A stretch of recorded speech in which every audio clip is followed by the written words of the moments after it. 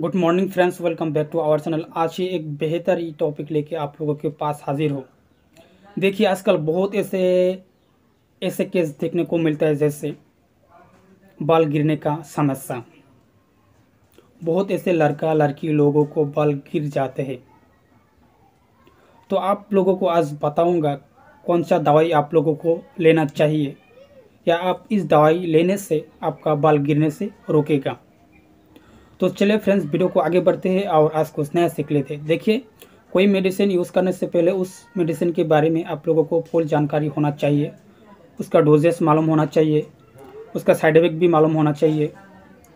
और किन कंडीशन पर उस दवाई नहीं ले सकते हो, उसके बारे में आप लोगों को जानना है।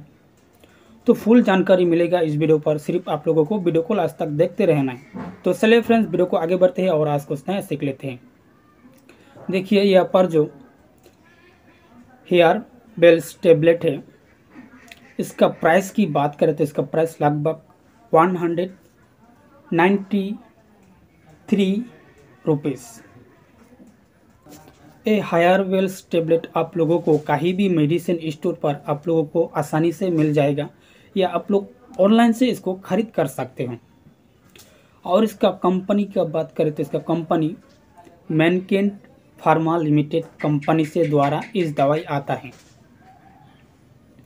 और इसका कंपोजिशन की बात करें तो देखिए फ्रेंड्स यहाँ पर बहुत ज़्यादा कंपोजिशन डाला गया है। जैसे जिंक है कैल्शियम है आयरन है एसिड है मिनरल्स है, बहुत ज़्यादा कंपोजिशन यहाँ पर डाला गया है।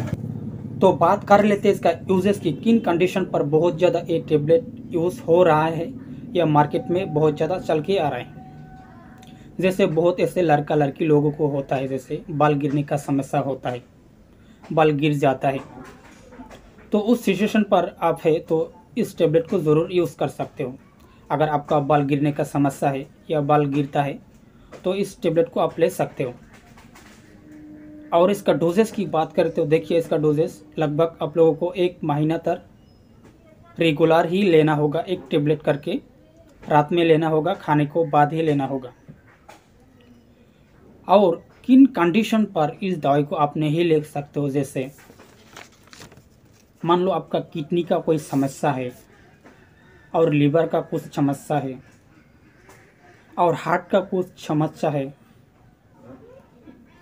और ऐसे महिला होता है जो ब्रास फीडिंग होता है, अपने बच्चों को दूध पिलाता है और ऐसे महिला होता है जैसे प्रेग्नेंट होता है।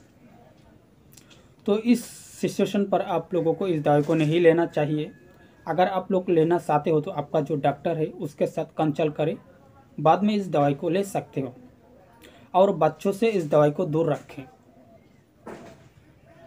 और इसका साइड इफ़ेक्ट की बात करें तो देखिए, अगर आपका ये लेते हो तो अगर आपका साइड इफ़ेक्ट हुआ तो ऐसा होगा। दिमाग में कुछ चक्कर आ सकता है या शरीर पर कुछ खुजली हो सकता है और पेट पे कुछ दर्द हो सकता है।